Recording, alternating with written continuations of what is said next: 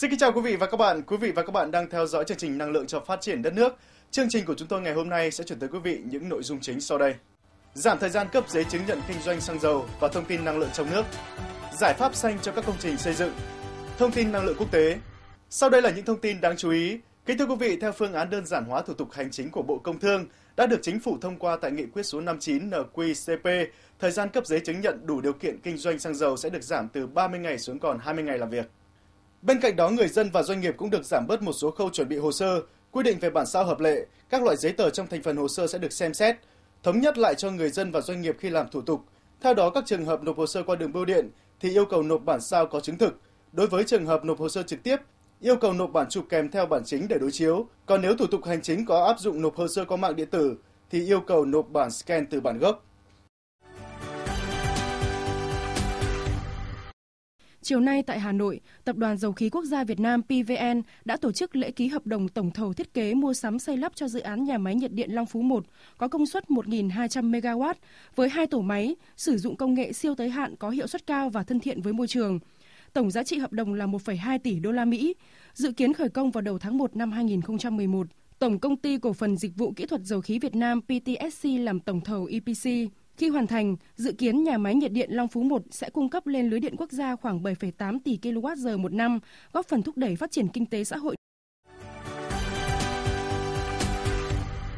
Thưa quý vị, hiện nay các công trình nhà cao tầng ngày càng xuất hiện nhiều, do vậy hướng tới phát triển sản xuất và sử dụng vật liệu xây dựng không nung để vừa có thể tiết kiệm đất nông nghiệp, vừa góp phần giảm thiểu khí phát thải gây hiệu ứng nhà kính và ô nhiễm môi trường, giảm chi phí xử lý phế thải, đồng thời tiết kiệm nhiên liệu được coi là giải pháp xanh cho các công trình xây dựng.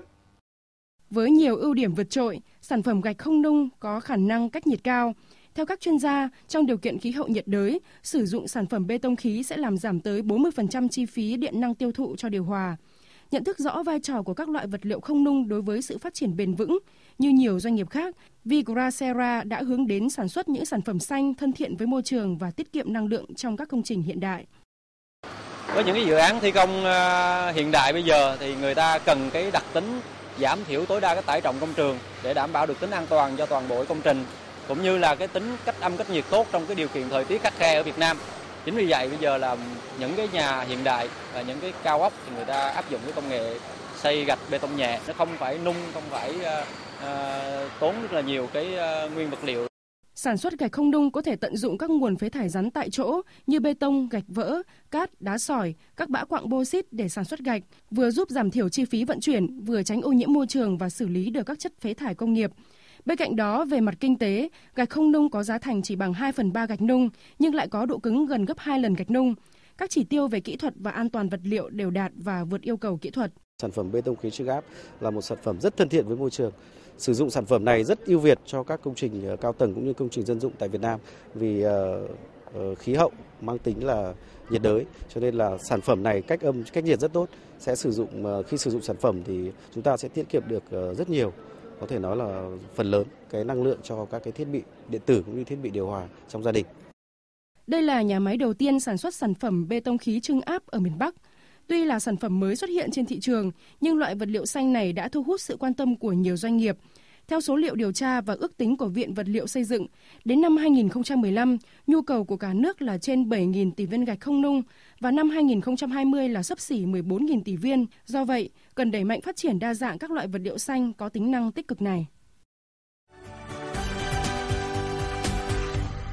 Tiếp theo là thông tin năng lượng quốc tế. Kính thưa quý vị, trong năm nay giá dầu thô tại sàn giao dịch New York tăng 15%, còn tại sàn giao dịch London giá dầu Brent tăng 21%. Nhật Bản và Trung Quốc, hai quốc gia có lượng tiêu thụ dầu thô lớn cho biết sẽ thận trọng hơn khi có các quyết định nhập khẩu dầu trong năm tới do giá dầu đang có xu hướng đi lên. Trước sức ép dầu tăng giá, Nhật Bản và Trung Quốc đang có kế hoạch điều chỉnh giá trong nước. Về phía Nhật Bản, nguyên nhân do lượng dầu đáp ứng nhu cầu trong nước hoàn toàn phụ thuộc vào nhập khẩu. Theo tổ chức OPEC trong năm 2009, sức mua từ nước này chiếm 77% đầu ra của tổ chức. Còn tại Trung Quốc, Ngân hàng Trung ương cho biết sức ép lạm phát tăng cao và dự báo sẽ còn mạnh trong năm tới, khiến giá dầu trong nước này sẽ được điều chỉnh phù hợp với mức giá trên thế giới. Dự báo trong năm tới, nhu cầu tiêu thụ dầu trên thế giới sẽ tăng mức kỷ lục. Cảm ơn quý vị đã dành thời gian theo dõi chương trình Năng lượng cho phát triển đất nước. Quý vị quan tâm có thể xem lại chương trình vào lúc 17 giờ ngày mai trên sóng VTV3 và 3 giờ trên VTV4 của Đài truyền Việt Nam. Xin kính chào tạm biệt và hẹn gặp lại.